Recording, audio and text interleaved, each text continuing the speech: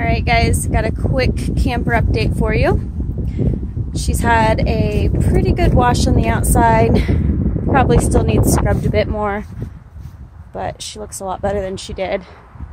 Also kind of attempted to clean the windows. Took all the screens out.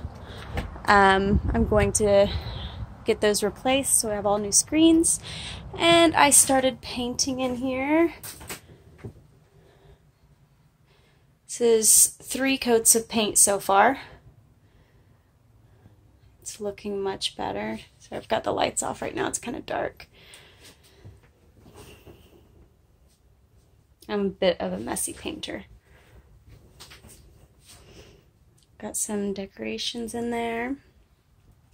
Um, also, I took down the shelf above the kitchen here and I'm going to put just like an open face shelf there.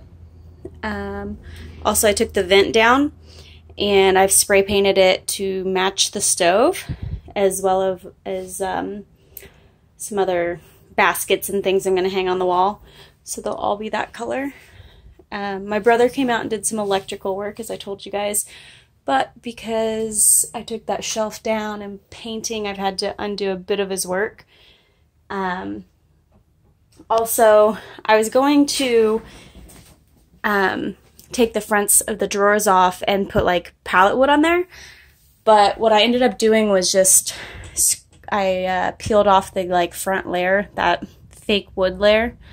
Um, and I'm just going to sand them down and paint them, I think. Or I might just leave them after I sand them. I'm not sure yet.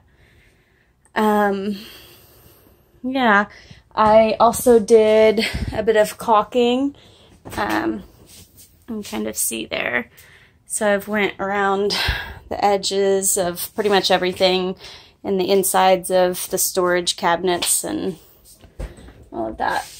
It's not the cleanest job, but gets the job done. And let's see, also I got new window cranks um, on all of the windows. You can see the screens are down like I said.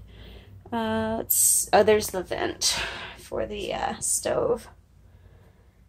Um, yeah, I think that's about it.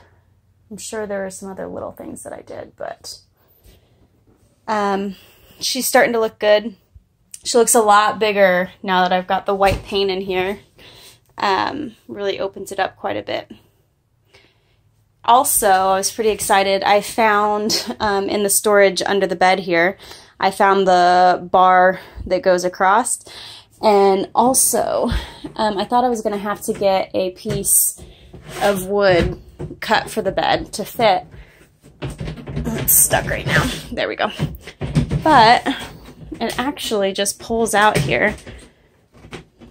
Well, does. It's just stuck right now. Anyways, you get the point.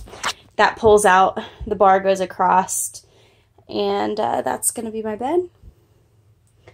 So, that's where I'm at right now.